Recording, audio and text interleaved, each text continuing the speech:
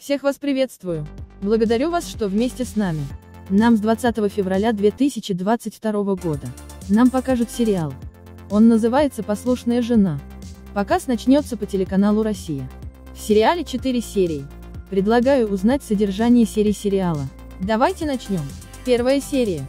В центре истории – Лена Соколовская. Героиня является хорошей доброй матерью. У нее примерный сын, который занимается спортом.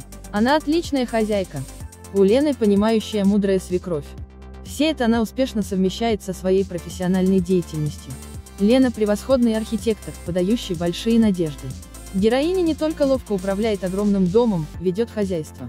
На хрупкой талантливой Лене держатся все архитектурные агентства свекрови и супруга. Героиня во второй раз ждет ребенка. Она счастлива. Лена полна грандиозных планов на дальнейшую долгую жизнь. Со стороны казалось, что героиня живет словно в сказке. Однако одно событие разделило ее существование на до и после. Произошло страшное дорожно-транспортное происшествие. В тяжелом состоянии героиню доставили в больницу. Спасти новорожденную дочь Лен. Вторая серия. Ее счастливая семейная жизнь рухнула как карточный домик. Все осталось в прошлой. С глаз Лены словно слетела пелена. Героиня осознала, что она долгое время существовала в своем иллюзорном мире. Перед ней предстала другая реальность, которую она раньше не замечала. Или не хотела замечать. Осколки счастливых отношений разлетелись в разные стороны. Супруг на протяжении длительного времени обманывал героиню.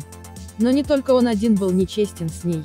Свекровь во всем поддерживает сына, несмотря на то, что он изменяет жене. Персонажи просто использовали Лену. Она была им нужна для заключения выгодных контрактов. Третья серия. Героиня почти отчаялась. Она осталась один на один со своим горем. Лена поняла, что ее окружают обманы со стороны близких, предательство, ложь. Теперь она осознала, насколько она одинока. Но в злом и беспощадном мире нашелся человек, готовый протянуть ей руку помощи. Андрей готов поддержать Лену в сложный жизненный период. Этот посторонний человек умеет сострадать и сопереживать. На долю Андрея тоже выпала тяжелая участь. Маленькая дочь мужчины тяжело больно. Андрей в одиночку борется за жизнь своего ребенка. Четвертая серия.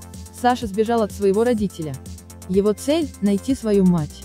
Он направляется в больницу, в которой сталкивается с Андреем и Леной. Героиня старается объяснить сыну, что он ей очень нужен и она его любит. Она пытается донести до него, что Андрею можно доверять, ведь он уже спас ее однажды. В медицинском учреждении герои сталкиваются с Димой. Мужчина утверждает, что Саша был замечен в воровстве. Он в грубой форме высказывает свои претензии. Андрей вмешивается в разговор, он пытается защитить Сашу. Дима покидает больницу. Маленькая Маша идет на поправку. Прошло 7 месяцев. Дима впал в отчаяние. У его месячной дочери обнаружили смертельную болезнь. Диагноз малышки звучит неутешительно. У нее лейкоз. Но больше всего Дима переживает из-за того, что ни он, ни Марина не подходят в качестве донора. Друг героя пытается ему помочь. Он предложил Диме обратиться за помощью к Лене. Есть вероятность, что в качестве донора может выступить Саша. Лена озвучила данную просьбу Андрею. Героиня обеспокоена информацией. Она не хочет, чтобы Саша подвергался опасности. Саше удалось подслушать разговор Лены и Андрея. Он не согласен с позицией героини. Саша уверен, что его помощь жизненно необходима. Он должен дать шанс на жизнь маленькой девочке. Андрей согласен с доводами Саши. Марина требует помощи от свекрови. Она уговаривает ее найти дочку Димы и Лены. Марина надеется, что девочка подойдет в качестве донора. Она смогла выжить. Но прогнозы на дальнейшую жизнь были печальными. Врачи были уверены, героиня останется инвалидом. От такой внучки хотели отказаться, ведь она была никому не нужна. Мать Димы решилась на поступок, которому нет оправданий.